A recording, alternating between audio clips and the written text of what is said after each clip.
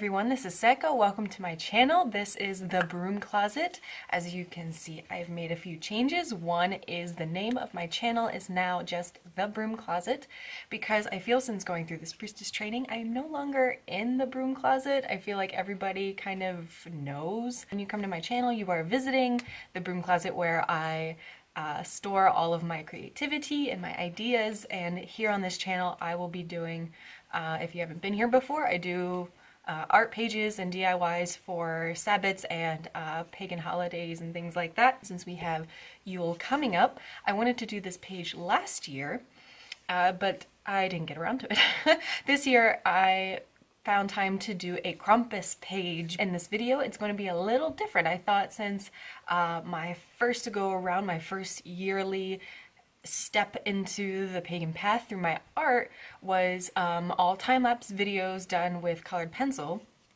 And then I started to move into the mixed media pages. I did one or two videos where I was doing watercolor. Uh, it was called the Meadow Lark book. This is like a combination of that, but I'm also throwing in my Photoshop skills. And through that, this Krampus page is the first of I hope uh, quite a few videos that incorporate my sketching, my watercoloring, and Photoshop uh, attributes. Another difference is you will be seeing me kind of set up and arrange my workspace.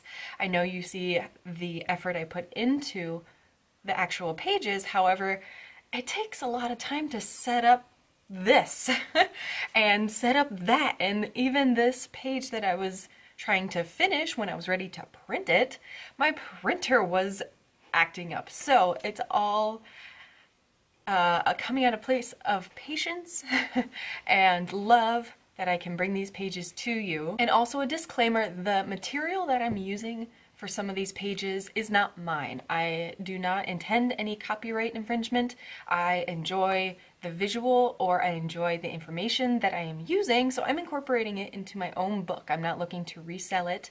I am adding it to my Book of Shadows pages and it's it's mine. I'm, I don't foresee selling it and if it comes to that, I will definitely make changes that need to be made. So you're gonna see me put on through Photoshop um, the sketch I found, I, I redrew it, and then some of the information I got off of the internet for the page. And then at the bottom, I do include just a Google found picture because I wanted to get this video out to you guys and I wanted to keep it simple. So there will be lots of Pinterest and Google searches done for these pages, but I hope you enjoy and here you go.